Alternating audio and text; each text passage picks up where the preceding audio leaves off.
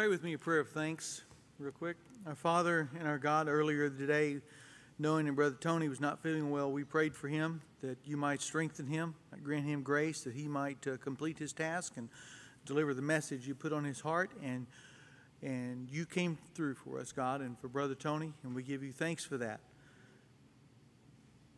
Pray this in Jesus' name. Amen. What I'm about to do, I have honestly never done before. Uh, I mean, I give short parts of testimony of my life, but I've never done what I'm about to do. So don't get worried. I hope that you trust me, that the Lord is in me, not to uh, do anything too weird. Uh, pages 30 through 34 is a passage of, of uh, songs that has to do with the Lord leading us. Do you believe the Lord leads you? Amen. I think it's also important not only to believe that, but to point to areas of your life where you say, Yes, the Lord did this. The Lord did this.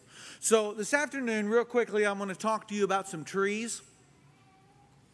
I hope you like this. I hope it's helpful to you. And I just, every time I talk with somebody, though, it seems like something comes up to add to my testimony. And just a little while ago, um, Brother Jason, Sister Ada, and Brother Sue, and Sister Sue, and Ann and I were sitting there and Sister Ada was telling us about some unusual experiences she had uh, dealing with people, ministering to them in California.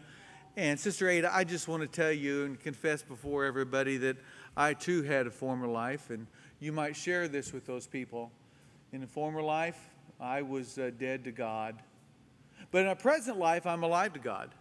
So I have lived multiple lives. Use that sometime, okay? Well, my testimony begins in 1860.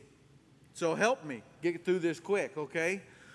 There was a man, his name was Dinwiddie, do not know his first name. He was from Kentucky. 1860, you know what was going on then, so they moved to the Olathe area of Kansas, which was not yet a state. There, his wife, who remained nameless because we have no historical record, gave birth to a son by the name of James. At the same time, on a different branch of the tree, there was a man by the name of Winneman. Don't know his last name, his first name, but his wife gave birth to a son by the name of Phil. Two completely different branches of this tree, I'm going to tell you, because the one had, uh, had a history of acknowledging, acknowledging Jesus Christ as the Son of God, and the other had a history of following, following in the institutional Catholic Church. John, uh, James married. They had a son. His name was John. All right? Phil, who was a child here, had a son. His name was Ed, Edward. About pretty close the same age. John's a little older than Edward. Now, God looks down upon John and says, I am going to give you a wife, and she's going to have a son and then I'm going to take her from you and leave you with that child, no one to care. Now, God looks down and he looks at Ed.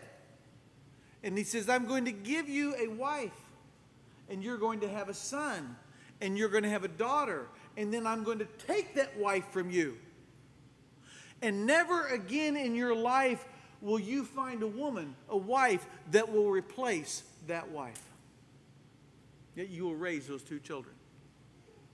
I go back over here, and John then is blessed with a new wife. I won't go into the details because it might scare some of you mothers to death. You can ask me later.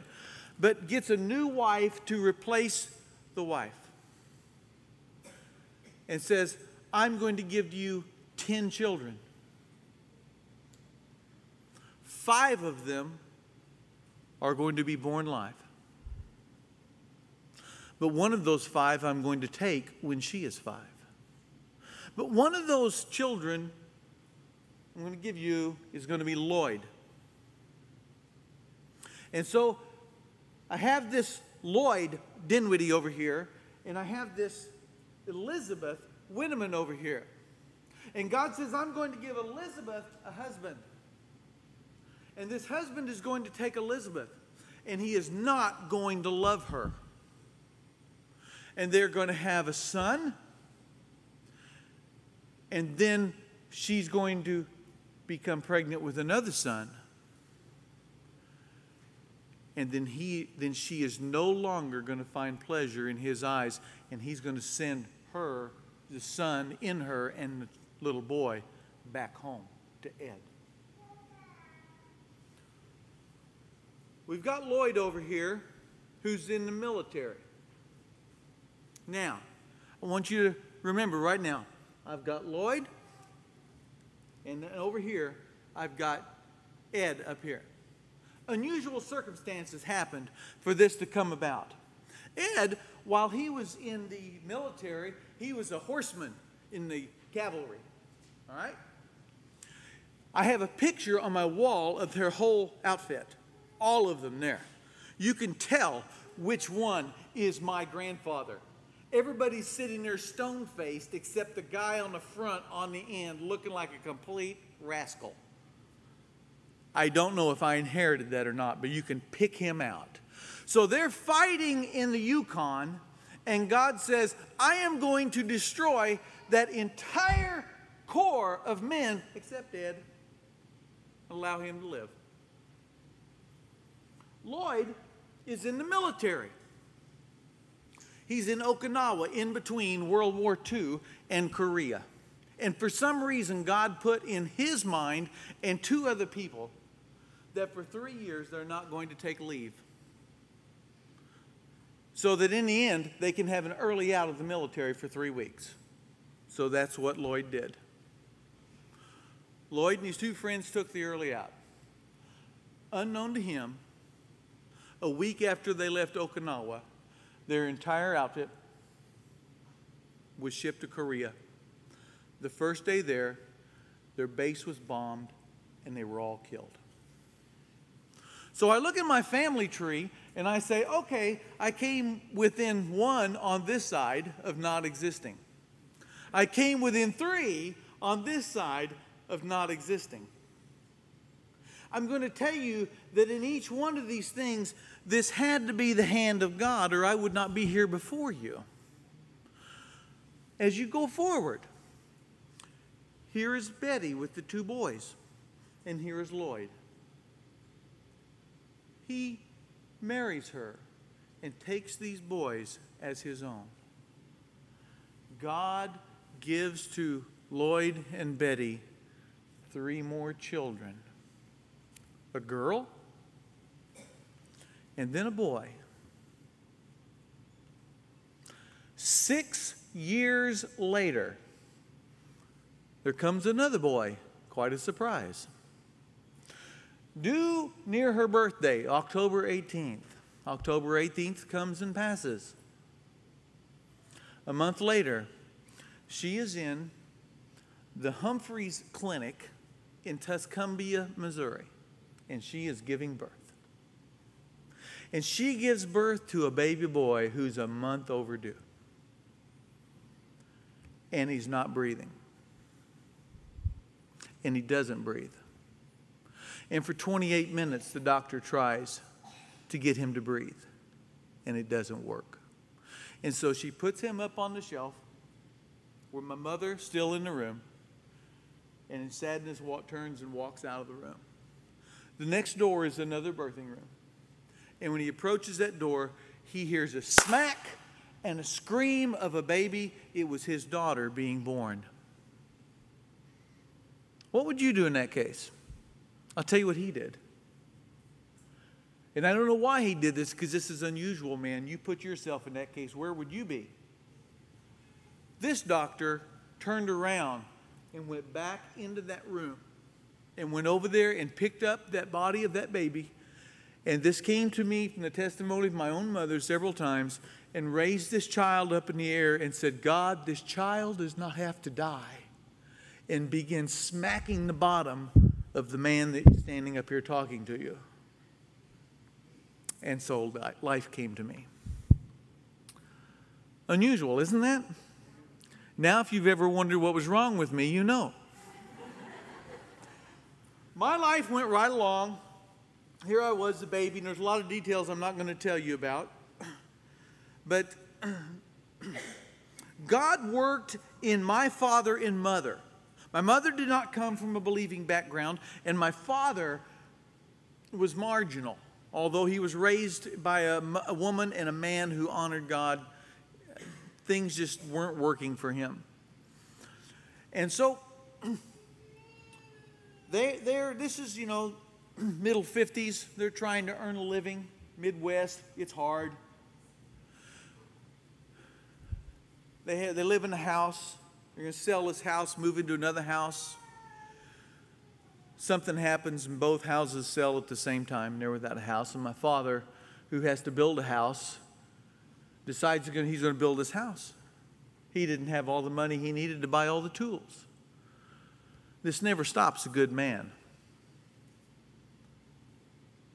He went to the trash and pulled out a vanilla bottle. Any of you older saints remember the vanilla bottles that were flat?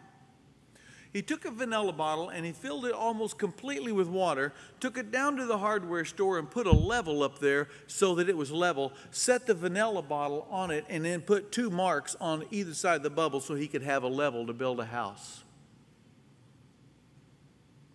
Don't stand in the way of that kind of person. We moved into this house. Why did God have them both of these houses sell at the same time, especially one that was rat infested, Dave? How did this happen? I don't know, but God did it. Well, why did he build this house here? Because there was a woman down the street who had four boys. This woman went to the Ninth Street Christian Church. Now, we, we lived almost next door to, to who would become one of the most well known evangelists in the Christian church in the United States. And loved this man. He was a minister for 12 years, but he was scared to death of my wife because she was raised Catholic. And do you know what was taught in the Bible colleges in the 50s and 60s regarding Catholics? I mean, this is like of the devil. You just stay away from these people. Well, Betty down the street had not heard that message. So she goes up and she talks to, to Betty, Betty, Betty. We've got a thing called Vacation Bible School. It starts at 9 o'clock in the morning, lasts till 3, and is two weeks long. Can I have your children? Yes. Here's what happened. Over the course of the next two years, my family, much older than me, came to Christ. And then, a little later, the day came for me and I remember that day on June 20th, 1969, when I was baptized into Christ. I remember all the events of that meeting very well. But something else happened, and that was the tree that I had grown up in from 1860 on my branch was ripped out of that tree and it was grafted in another tree. I became part of a new family. It was at that point that my life and my testimony began interacting with other people who had been yanked out of their tree and grafted into that tree. And over the course of my life, I began to come in contact with them. Now, there was a lot of details that got me from, from my baptism to the time when I entered into the preaching ministry, a lot of details. But one thing that happened was that sometimes when I would, would we, Anna and I would go place with our children, we would meet people. I mean, like kindred spirits, and we would never depart from each other. We walked into a little church in Novelty, Missouri one time, and, and, and, and the, there we came in contact with the family, and uh, many of you know them and some of you are married to them, and some of you are related to them. And what happens is we moved in there, And to people, I knew nothing about farming, cared nothing about farming, but God said, Bill, you need a best friend on this life, in this world, besides your wife, a living person. Here he is. His name is Russell. I thought, oh Lord, he's a farmer. Yes, he is. And he's your best friend.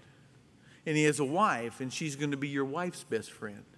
And they have four children, and you have two children, and between the six of them, they're all one year apart. And guess what? They're going to be best friends. And they're going to follow you.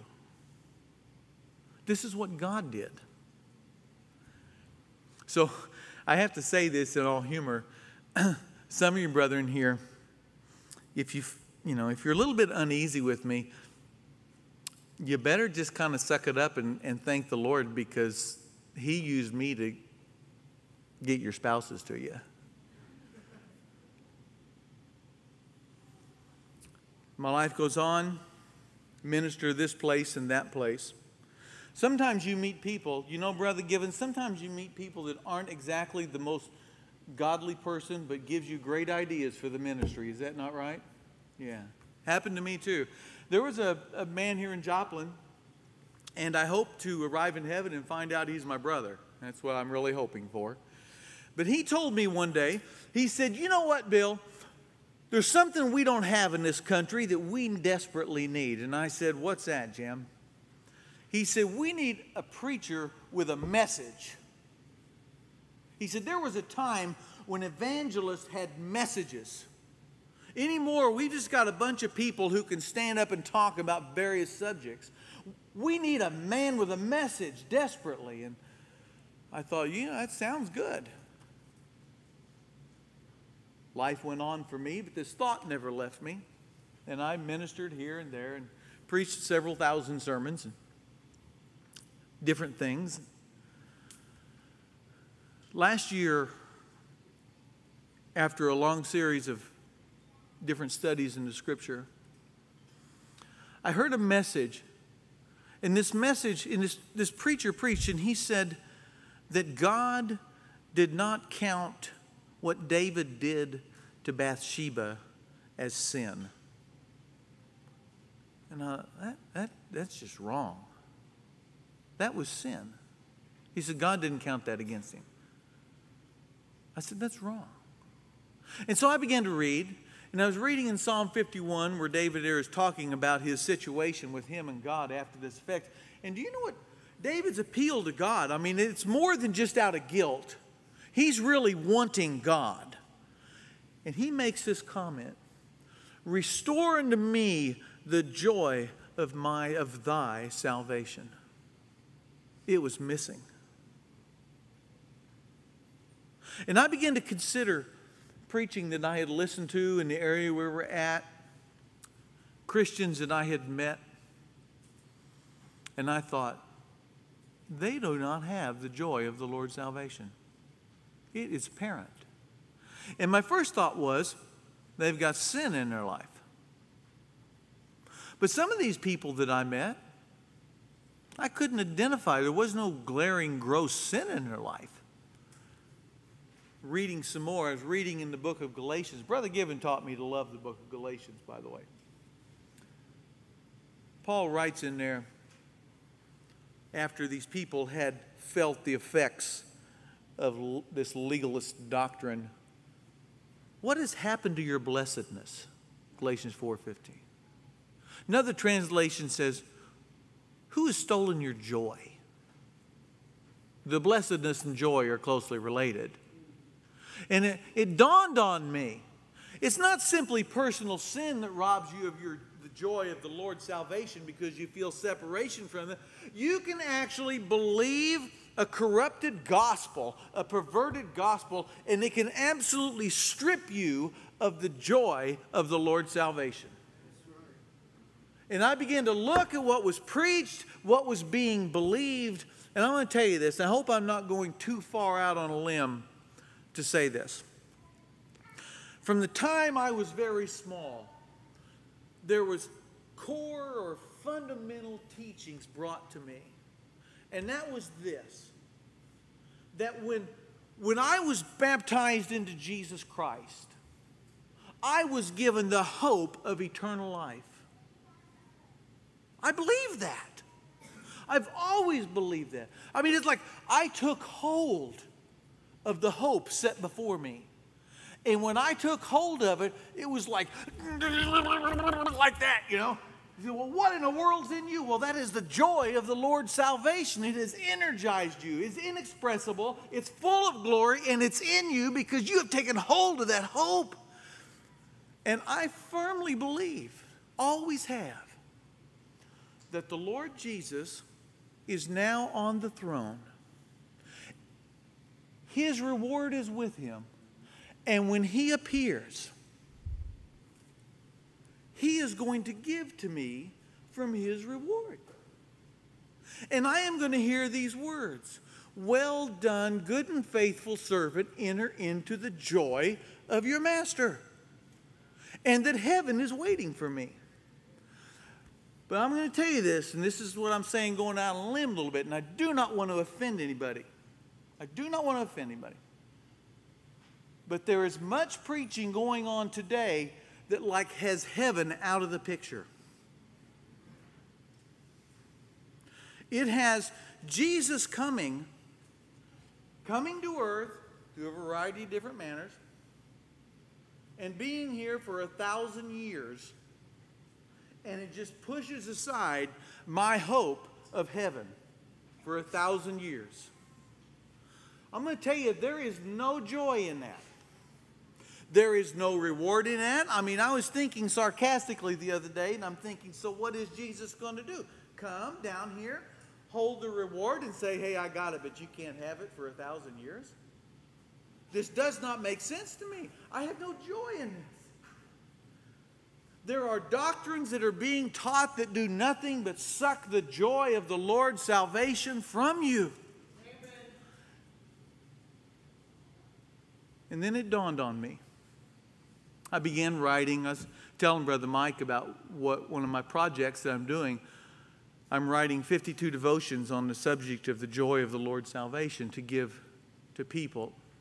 I'm going out and meeting preachers and talking with them about that, I want to know is the joy of the, your, of the Lord's salvation right there? And here's what I ask them point blank.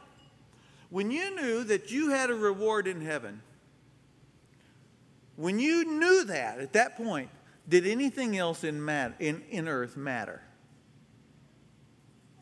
When you were lost and then you knew you were saved, did anything else matter? No.